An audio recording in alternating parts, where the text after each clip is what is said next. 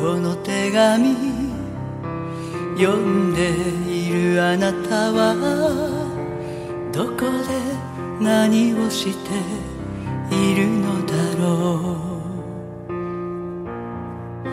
15の僕には誰にも話せない悩みの種があるのです。